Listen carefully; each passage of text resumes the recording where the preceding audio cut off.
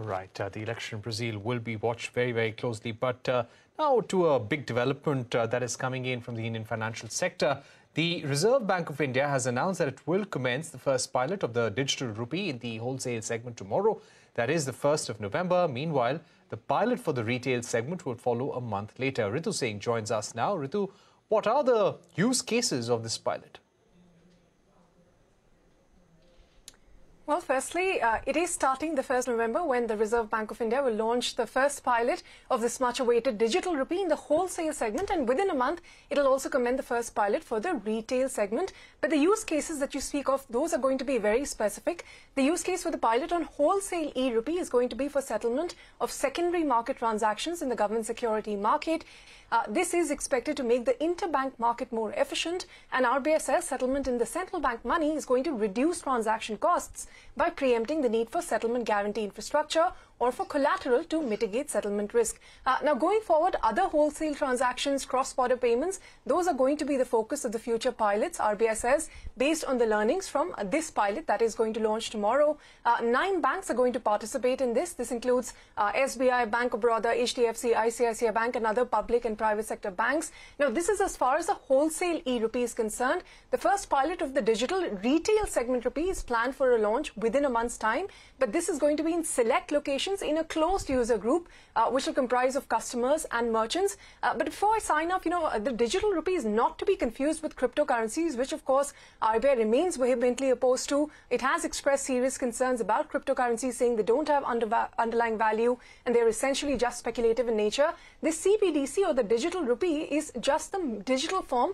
of what is the sovereign currency and has the unique advantages that the rupee today has, that is safety, liquidity, settlement finality, and most importantly, trust, something that the cryptocurrency doesn't. All right. Thank you very much, Ritu Singh, for joining us with that big story. Let's move on now. With just three months to go for the union budget, the tax department is taking measures to augment revenue. Sources tell us that direct and indirect tax officials have asked field formations to refocus efforts on collections. We also learned from sources that the GST collection for October are likely to be over 1.5 lakh crore rupees.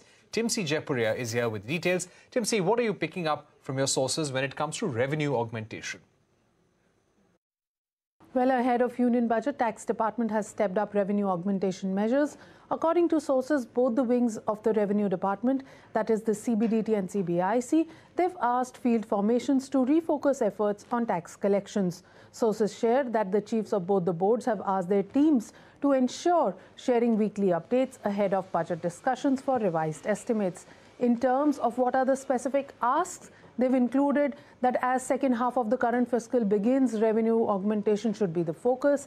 Enhanced tax base, especially covering the new economy taxpayers, digital platforms that are avoiding taxes, online gaming and cryptocurrency sectors, focus on completion of pending investigations, non-intrusive and non-coercive measures to ensure taxpayers file their returns, pay taxes in time, disposal of seized items including precious metals, plug loopholes, improve compliances, ensure efforts to improve taxpayers' user experience for online filing is being made. Remember, the budget estimates set for direct taxes stands at 14.2 lakh crore rupees, and for indirect taxes, it was set at 13.37 lakh crore rupees. However, healthy queues and collections in the first half of the current fiscal have made Revenue Department often express confidence that they will be able to exceed the budget targets. Let's see whether government revises the tax estimates or not. Back to you. All right. Thanks very much, Timsi, for joining us with that uh, quite important story. We're going to take a short break at this time, but uh, coming up, Rajeev Chandrasekhar, Minister of State at the Electronics and Information Technology Ministry, reiterates that Twitter would be expected to adhere to the same set of rules even under Elon Musk. Says that the new IT rules are more about ensuring accountability. That's coming up. Don't go anywhere.